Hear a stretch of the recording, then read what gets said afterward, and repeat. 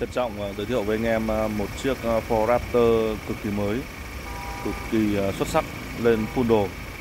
Màu đỏ sản xuất 2018 anh em nhé. Đi chuẩn 39.000 km. Bây giờ tôi sẽ sâu cho anh em từng chi tiết một nhé. Đây là chiếc Raptor sản xuất 2018 một trong những chiếc xe siêu lướt. Thành Long ô tô vừa nhập về đi chuẩn à, 39.000 km anh em nhé. Dàn lốp cực kỳ hầm hố luôn. Rất là mới. Dàn lốp chuẩn theo xe. Màu đỏ tỷ lệ à, chiếc xe này sơn zin còn đến 9 trên 90 phần trăm. Đã lên full đồ. Lắp thùng sau à, kín rất là đẹp. Lên cả led luôn. Lên cả hai sườn đèn led rất là đẹp.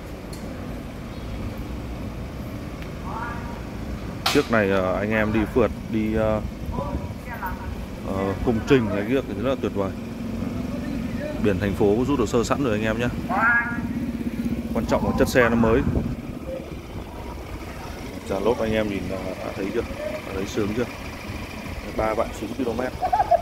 Đối với những dòng uh, bán tải như này thì ba uh, bốn vạn thì xe gần như mới luôn anh em nhé. Gần như là chưa đi gì mấy luôn cục đèn led của xe đây nha. Đèn gầm cũng là đèn led luôn. Mặt ca lăng cực kỳ hầm hố. Có cả giá nóc để đồ luôn anh em nhé rất xịn sò luôn. Đây là không gian nội thất của chiếc Ford Raptor. Thế hệ sinh 3 rồi. Nội thất chủ yếu là màu đen thôi.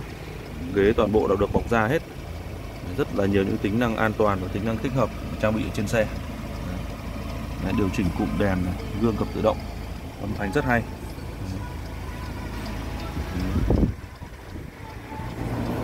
Màn hình sinh 3 thế hệ điều hòa tự động hai vùng riêng biệt anh em nhé.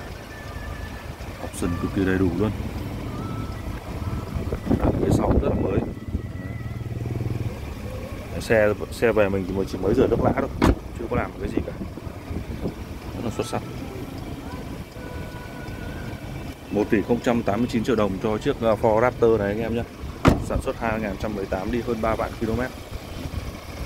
Màu đỏ cực kỳ yêu thương luôn. Anh em nào quan tâm thì liên hệ ngay với Thành Long Auto nhé. Xem xe tại địa chỉ là số 6 Nguyễn Văn Cừ, Long Biên, Hà Nội.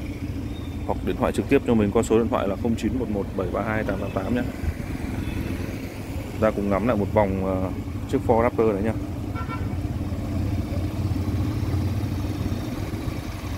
Rất trường xe luôn.